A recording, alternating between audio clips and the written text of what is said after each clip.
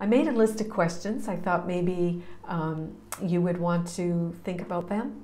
And uh, so you can discover, remember, I said on this journey from darkness to light, it's not a journey of just being in the light. In truth, you are in the light, but because you don't believe that, you suffer from unworthiness and everything else that goes with it. So this journey is from darkness to the light. So we have to look at our darkness, unworthiness. We have to look at that. We have to expose the darkness, expose unworthiness. Yeah. So, do you feel good enough? What are the areas in your life where you don't feel good enough? Where you find yourself cowering or shrinking because they showed up? Or you find yourself feeling less than because she's in the room or he just graduated with a PhD. Do you feel good enough? And expose it. If you don't, that's good. Don't push it down. If you don't feel good enough, don't push that down. Say, you know what, God, I don't feel good enough. Say to the Spirit, here's my dilemma. I don't feel good enough in this area. I just don't feel good enough. And I want to feel the experience of oneness. So could you please help me see this differently? And the Holy Spirit will take that and she will shine light on it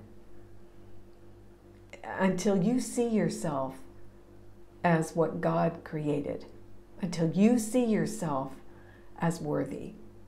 You've got to expose unworthiness. Do you feel worthy enough? That's a good one. Do you feel worthy enough? Worthiness is God, everything, love. There's not a little bit. You are either worthy or you're not. So you can't just have a little bit of worthiness or a little bit of unworthiness. You're just unworthy or you're worthy. So do you feel worthy enough? How about this one? Do you feel incomplete? Like there's something missing in you? Like you're inadequate? That's unworthiness. And expose it. You want everything in the light. Everything. Anything that you push down will cause depression. Anything that you push down will make you feel sad, angry, undeserving. Don't push anything down. Expose it. Bring it all into the light. And know that beside you, whatever your teachers are Jesus, Buddha, Kuan Yin, uh, Kuthumi, whoever your teachers are that you see in form, Sai Baba, Krishna, it doesn't matter. Imagine that there are beings of grace, beings of love with you as you undo the ego's thought system of unworthiness. You need help and helpers. Are you managing your feelings through external things like food? You know, a lot of people say to me, Oh my God, with the pandemic going on, I've put on so much weight. So let's blame the pandemic. But the pandemic is simply a mirror, isn't it? It's helping to expose what you have yet to forgive in your consciousness. We call it the pandemic. That's a name for unworthiness. Because if I feel worthy and I'm at one with God, whatever's going on in the world does not affect the amount of food I eat. See how sneaky it is? We blame external things for, for the condition we find ourselves in. Overeating, for example. It's because. No, overeating is a way to cover up some deep pain that you have not accessed, exposed, and turned over and given to the Holy Spirit. Everything that we do in excess or indulge is to hide pain. We have to admit, admit to yourself, I am wounded. I have wounds. And the universe will mirror those wounds. So anything that triggers you, anything you judge, is simply mirroring a deep wound in your psyche. And what you'll do to distract yourself from exposing the wound is drink alcohol, eat, watch porn, watch lots of TV. Whatever your addiction is, it is a cover for deep pain. Are you creating a mess in your life? Are you creating chaos? Just look around your house. What's in your house? How about your fridge? Your drawers? Are you creating chaos in your life? When you live with worthiness, everything has order, everything is structured. God created the world in seven days. One, He did this. Two, He did that. Three, organized, orderly, no chaos, simplicity, serenity, and peace of mind. Are you creating chaos in your life? Are you always trying to get the world to make you feel like you're okay? Looking for compliments. How about that one? Fishing around for compliments so that you can feel okay. That's unworthiness.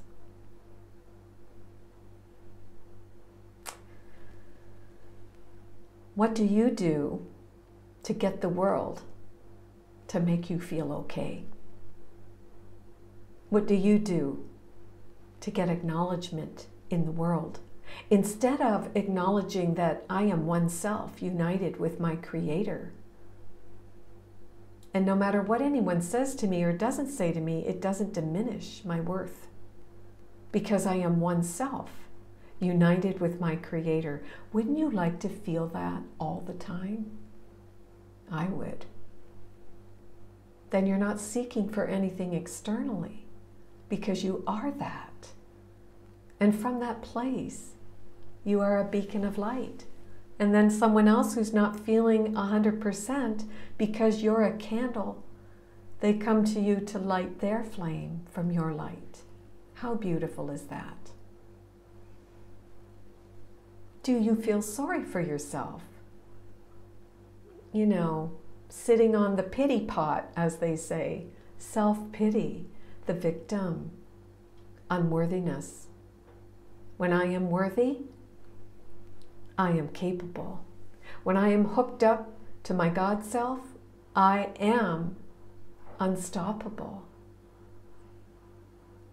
But when I'm not, I'm full of self pity. Poor me. Poor me. And yet, being hooked up to our God self offers you everything you need to move forward in your life. So, if you are not moving forward in your life, it's because you feel unworthy. What areas of your life are you not moving forward? Meaning taking action. Maybe it's like you need to exercise moving forward, exercising, exercising my body. Not so that I can be some, you know, so the world can say, hey, look at me, but because I want my vehicle, my body vehicle, to be so fit because it is a gorgeous gift to carry spirit around. I'm doing it for a higher purpose. Yeah.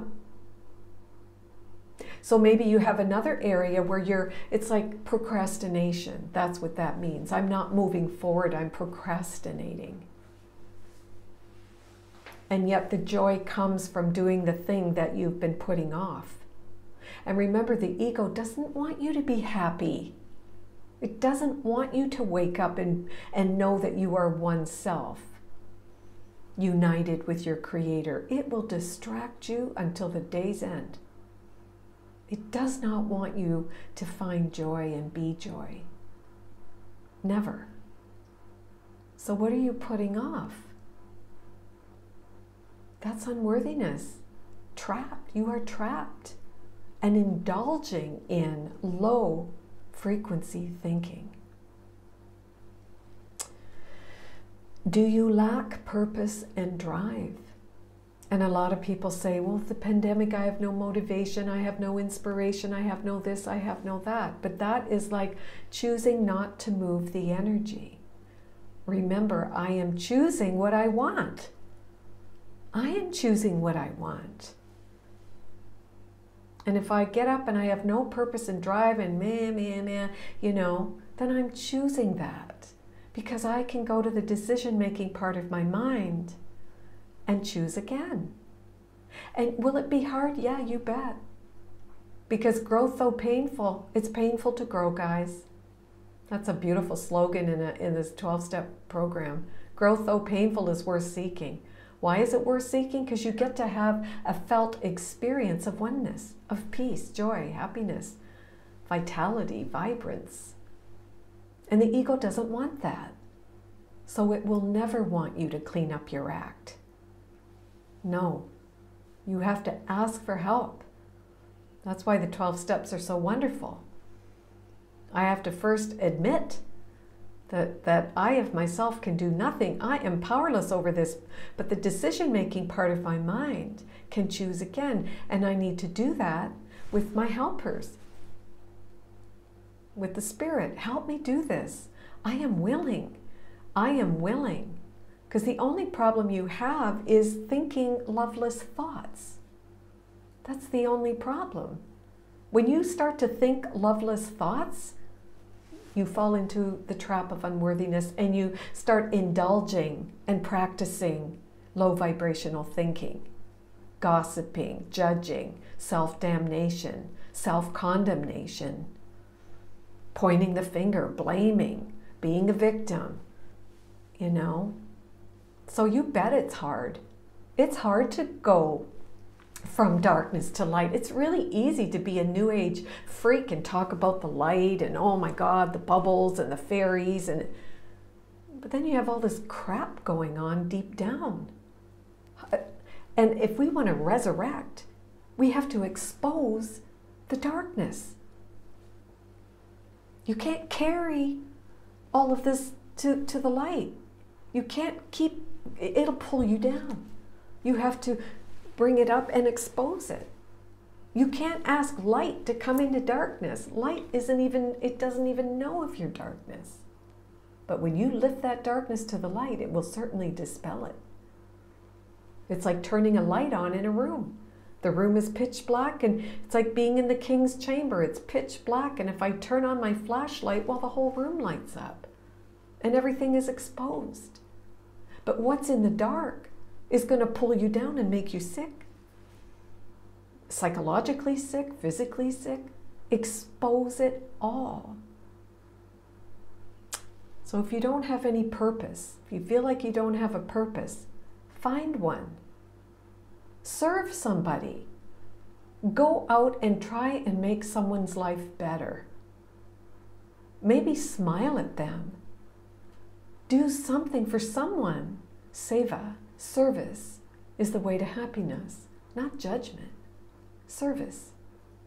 But the only way you can be of, of serving, serving someone from a place of, of pure love is through oneness, being one with your Creator, and then serving your brothers and sisters.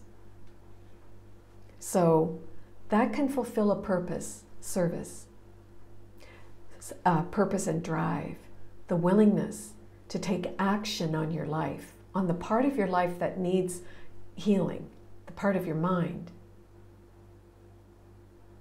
And we all have a part of our life that needs to be addressed. Yeah. Maybe it's money. Maybe you're a maniac with money. Remember, God is orderly.